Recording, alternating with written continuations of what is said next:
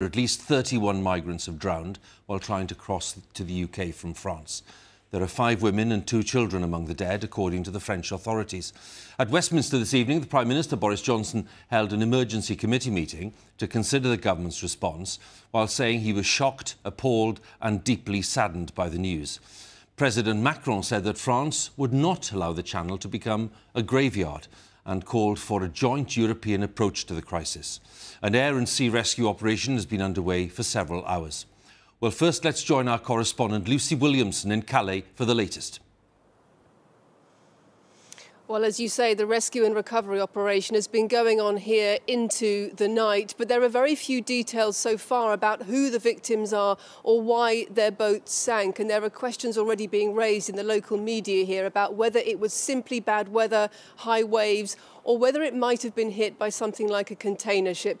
No confirmed details as yet, but this town, this country is today simply coming to terms with what the government is calling a day of national tragedy. This is a tragedy that began with hope. Where are you going now? Go UK. Go UK. The water, nothing to be afraid of yet. Several boats set off from this coast at first light this morning. This one reached British shores without disaster. But a flimsy boat, dozens of desperate people. The warning signs have always been there. And today, one of these boats never arrived.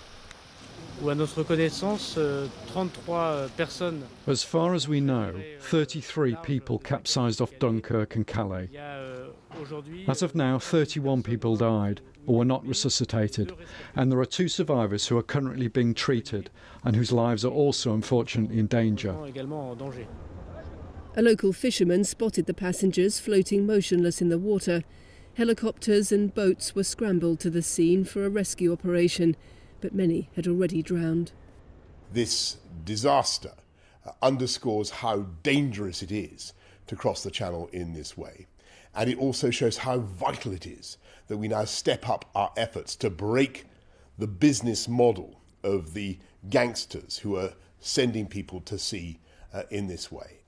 This was the fear that hung over all the politics, all the debates. Inside this hospital tonight, more than 30 people have been declared dead. Two others are fighting for their lives. The crossing season this year has stretched well into the winter weather. It's a lucrative business for the people smugglers, but it's men, women, and children who've paid the price.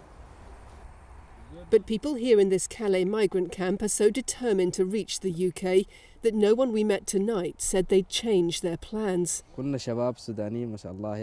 Ode tried crossing yesterday, but gave up because the waves were too high.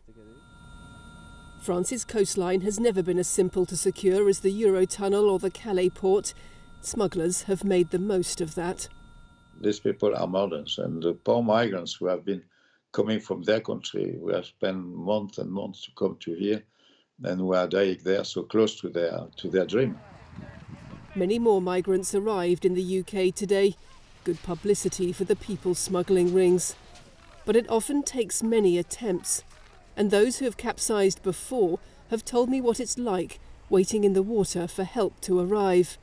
One thought in their minds as the minutes tick by what if it doesn't get here in time? Of four suspected people smugglers believed to have been linked to this crossing have now been arrested, French officials say. But for all the arrests here, all the deterrence over the months and years, there's no shortage of customers for this industry. And I've spoken to many people this year who've had to be rescued themselves from the waters of the channels of the channel, and they keep on trying. And I think that says a great deal.